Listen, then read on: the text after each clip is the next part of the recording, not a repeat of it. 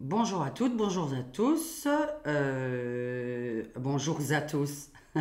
On ne dit pas ça, hein. bonjour à tous. Bienvenue chez Diane. Vous êtes sur la communauté des indépendants anarchistes, la CIA Diane. Donc je suis là pour vous dire toutes les vérités. Alors aujourd'hui, je vais faire une petite voyance et puis je vais faire ça souvent, c'est-à-dire je vais faire plutôt des voyances de 10 minutes, 15 minutes maximum pour en faire régulièrement et sur une seule question. Comme ça, ce n'est pas trop long et en fait, les gens bah, cliqueront sur le sujet qui les intéresse. Aujourd'hui, je vais m'intéresser à une question qui se pose souvent en ce moment, c'est est-ce que les soignants et toutes les personnes qui étaient suspendues par rapport au vax vont pouvoir revenir travailler? Sachant qu'évidemment, il y en a déjà plein qui ont trouvé un autre travail ou qui se sont mis à leur compte dans un autre domaine. Donc on ne va pas calculer ces personnes-là. Euh, mais ils ont perdu pas mal de, soignants quand même, hein, parce qu'il y en a beaucoup qui sont partis. Donc je vais euh, faire le, tarot de Marseille et euh, le symbolon. Alors déjà, moi, ma question, c'est est-ce que les soignants vont pouvoir revenir travailler dans les deux mois? Évidemment, je ne vais pas tirer les cartes pour l'année. On va vraiment voir si pendant les présidentielles, après les présidentielles, les soignants vont pouvoir revenir. Donc, est-ce que toutes les personnes... Euh, alors, quand je dis les soignants, je parle, euh, je suis en train de me concentrer sur les personnes, même qui sont euh, non-vax, mais dans, tous les emplois. Hein. On va dire, là, je me concentre sur les soignants, mais ça concernera tous les non-vax. C'est ce qu'on va vraiment demander. Eh ben. Bon, alors des dépressions, hein. Donc ça, ça va pas. Alors, est-ce qu'ils vont retrouver leur emploi, ces personnes, dans les deux mois à venir? Est-ce qu'après les présidentielles, les non-soignants vont retrouver leur emploi? Mhm. Alors, si je dois donner... Alors, évidemment, ils vont retrouver leur emploi, nouveau départ, à partir du mois de mai. Donc, ça sort plutôt le mois de mai, euh, avril-mai, bah voilà. 18-19, euh, excellent. Euh, par contre... Je vais vous donner même un nombre parce qu'il y a 15 000 soignants qui ont perdu leur boulot. Et vous savez quoi? On va apprendre qu'il n'y a que la moitié qui va reprendre le travail. Alors... Alors là, bon, salaire gelé, etc. Ça, on avait compris. Ok va voir ça. Quelqu'un va s'en mêler. Alors, est-ce que les soignants vont retrouver leur travail? On va faire le symbolon. Alors, vous ne voyez pas les cartes, ça sert à rien. Parce que pour toutes les personnes qui ne savent pas les lire, ça sert à rien. Et en plus, euh, je suis médium, donc j'interprète ce que je sors moi. Hein. C'est pas une lecture de carte par carte. Donc moi je trouve que ça sert à rien parce que ça m'intéresse même pas moi non plus de voir. Donc je fais les choses qui me plaisent, hein, comme vous pouvez le comprendre. Alors, oh là là, bah c'est bien, il y aura de l'emprisonnement, etc. Bon, bah ok. Euh, ouais, c'est particulier là quand même. Bon, il va y avoir un médiateur qui va se mêler un petit peu de tout ça. On va quand même compléter chaque carte du symbolon. Bon, il y en a pas mal qui sont partis quand même, alors je redis bien. J'espère qu'on apprendra le nombre qui est revenu, mais là, euh, il y a vraiment pas mal qui va pas revenir du tout. Hein. Donc moi, avec le tarot de Marseille, je suis à une moitié. Hein. J'ai pas encore fait ma conclusion du tarot de Marseille. Euh... Oh là là Qu'est-ce que c'est que ça euh... Attends, je vais compléter le symbole. Qu'est-ce que c'est que tous ces deuils là encore Alors je sais pas, il y en a. Enfin, je, je connais pas hein, ce qu'il y en a qui sont foutus en l'air, je, je sais pas.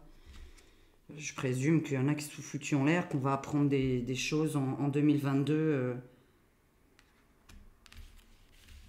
pour l'instant, euh, ça évidemment, le diable, il n'arrête pas de sortir partout, la guerre. Parce qu'on on attend toujours, mais ça, ce sera un autre tirage pour la guerre. Euh, euh, la guerre en Ukraine, Russie, qui va... Euh, bon, ça va bien se terminer. Ça va, il y a quand même des gens qui vont s'en mêler. Il y a l'emprisonnement pour quelqu'un là qui est annoncé. Un médiateur va s'en mêler. Mais la moitié des gens seront partis en attendant le début. Le début est quand même très mauvais. je pense qu'on euh, va en parler de ça aussi plus tard, c'est que, à mon avis, il y en a pas mal qui sont dans une vraie merde. Hein. C'est-à-dire qui n'ont même pas retrouvé d'emploi. Hein. Parce que je sais qu'il y a des infirmières et des, femmes de ménage qui travaillent dans les hôpitaux. Elles ont retrouvé ailleurs. Mais là, on voit que ça, ça craint. Hein. Donc, je voudrais savoir s'il y a eu des suicides justement par rapport à ça. Et des gens qui sont vraiment en train de tout perdre et qui ont tout perdu. Et là, on voit qu'à partir du moment où on va se rendre compte que ces gens ont vraiment tout perdu, leur, leur appartement, leur... Euh, voilà, moi je parle de tout, hein, c'est-à-dire que comme si c'est des gens qui se retrouvaient à la rue, hein, et qu'on va un peu plus en parler, que ça, c'est pas normal du tout. Euh, un médiateur va s'en mêler, donc ça, c'est positif. Bon, je vais pas tout vous traduire, parce que je vois bien que les autres euh, ne sont pas aussi complètes, hein, donc on va pas toujours Diane qui précise tout, puis après on comprend déjà pas la moitié de mes phrases, donc, donc voilà. Je me compare par rapport aux autres. Je suis allée faire un petit tour sur les autres voyantes qui montent pas leur tête d'ailleurs. Donc euh, moi qui ai des risques de, montrer ma tête comme ça, euh, merci à ceux qui me suivent et qui ont compris quand même le principe. et ceux qui me suivent pas et qui, m'insultent, déjà allez nettoyer devant votre porte. Hein. parce que me parler des autres voyantes alors que 99% montrent même pas leur tête, quoi, histoire de pas être reconnus dans leur ville, ça c'est génial. Hein. Donc, euh, c'est vachement bien, quoi. 18-19. Euh, Moi, j'ai plein de risques. Hein. Je prends des risques à chaque fois. Nanana, 5, 11, 2. Ok. Ouais, toujours grâce à un pays étranger, on est sauvé. Toujours grâce à un pays étranger qui se mêle de l'histoire de la France. Grâce à, hein, pas à cause d'eux. Donc, euh, pays étranger qui se mêle de la France pour un... les soignants. On va voir pourquoi. Mais bon, c'est pour la globalité. Oui, vous allez retrouver votre travail. Le mois de mai est très favorable quand même. Vraiment, mai-juin, très très favorable. Médiateur qui s'en mêle. Quelqu'un qui va en prison. Donc ça, euh, on tirera les cartes pour savoir qui y va. Euh, dans une autre question, parce que j'avais une autre voyance à faire. Euh, qu'est-ce que je voulais poser comme question qui complète ça euh, Parce que qui a à voir avec ça en fait. Hein, mais on va juste regarder avec ce jeu-là. Non mais là, de toute façon, il va y avoir un bouleversement politique là. Attendez-vous à des bouleversements, il n'y a pas de continuité. Hein. Soyez positifs, il n'y a pas de continuité de ce gouvernement-là. Il y a une séparation qui va se faire. Et comme j'ai dit d'ailleurs, euh, attendez-vous aussi euh, ce que du côté de, du gouvernement actuel, nous ayons des gens qui euh, trahissent. Hein. Il n'y a pas que le parti de Marine et, et, de je ne sais qui qui trahit. Hein. Donc là, alors les soignants. Là, la REM, j'ai dit qu'il y en a qui vont parler. Ils vont causer. Est-ce que les soignants retrouvent leur job et quand? Est-ce qu'on peut me dire, est-ce que les soignants retrouvent leur job? Donc là, c'est terrible, hein, c'est terrible, terrible. Je ne sais pas, on n'en a pas assez entendu parler de la catastrophe. Donc ça, c'est une bonne nouvelle. Sachant qu'il y en a de toute façon qui se sont trouvés un autre travail. Donc là, on confirme. Mais j'aimerais quand même savoir ce que euh, une bonne moitié est devenue. Parce que là, on est quand même en train de me dire qu'il y en a qui ont vraiment tout perdu. Donc on est dans non-salaire, euh, non-paiement de loyer, euh, vraiment une vraie catastrophe. Et on a le bonheur derrière qui arrive. Mais la moitié de ces personnes-là ne, ne plus euh, dans les hôpitaux, dans le soin. Maintenant, j'aimerais bien savoir, et qu'on en parle à la télévision, combien ont tout perdu, combien se retrouvent pour moi, pour moi, à la rue, quoi. J'ai vraiment l'impression qu'il y en a qui vivent une catastrophe. Et c'est vrai que, par exemple, nous sommes euh, à la fin de la trêve hivernale. Et je suis en train de me demander, est-ce que ces gens qui n'ont pas pu payer de loyer, parce que là, j'ai l'impression d'avoir un problème sur les appartements. Euh, on est à la fin de la trêve hivernale. Est-ce qu'il y en a qui vont se faire virer au mois d'avril-mai, là? Sachant que de toute façon, derrière, il y en a qui vont retrouver leur emploi. Mais faut-il pouvoir rattraper Ah, et c'était ça ma question. Est-ce qu'ils vont, dans un mois, deux mois, trois mois, pouvoir recevoir leur, euh, le salaire perdu? Est-ce que on va leur payer eh bien, les, mois qui n'ont pas été payés? Est-ce que ça va être remboursé? Est-ce que ça va re-rentrer dans leur poche? En attendant, il y en a qui ont tout perdu et je trouve qu'on n'en parle pas à la télévision de ça. Dites-moi si je me trompe, mais après, je regarde pas trop la télévision. Hein. Je suis une fan de YouTube. Je m'instruis énormément avec YouTube et avec des chaînes assez professionnelles, hein. pas des chaînes complotistes, mais euh, je suis curieuse pour le salaire. Donc là, c'est vraiment les appartements, les, maisons, les appartements. Une chute. Alors la chute immobilière, je sais que j'en avais déjà parlé, mais ça ne les regarde pas. Est-ce qu'ils vont retrouver leur salaire Est-ce que les soignants vont retrouver leur salaire? Eh ben c'est très bien. Alors la moitié, une fois de plus encore. La moitié, la moitié on va pouvoir leur rembourser la moitié de leur salaire. Donc pas l'intégralité alors. Ou la moitié de ces personnes, et je ne sais pas pourquoi l'autre moitié, parce qu'ils ont dû retrouver un travail. Je pense que si par exemple ils sont 15 000, 30 000, je ne sais pas combien de personnes vous êtes à avoir perdu ou pas trouvé un emploi suite au vax quand même, parce qu'il y en a qui n'ont pas retrouvé un emploi, que ce soit un serveur, etc. Il y en a qui n'en ont pas retrouvé, hein. euh, puisque leur entreprise leur demandait, illégalement d'ailleurs, mais euh, ils vont être payés. Donc ça, c'est très positif. On voit des paiements, on voit de l'argent qui va rentrer. Je vais voir avec l'oracle Béline juste. Ils vont être payés, mais le mot moitié, encore. Donc la moitié des gens, première traduction, seconde traduction, la moitié de leur salaire. C'est comme ça que je traduis, comme ça c'est clair. Hein. Chute immobilière toujours, des gens qui ont perdu leur appartement, leur maison, des crédits aux maisons. Pensez à ça aussi, je sais pas. Je sais pas le nombre de gens qui ont perdu euh, ou qui vont perdre. Ça parle beaucoup de pertes immobilières. La chute immobilière toujours qui revient.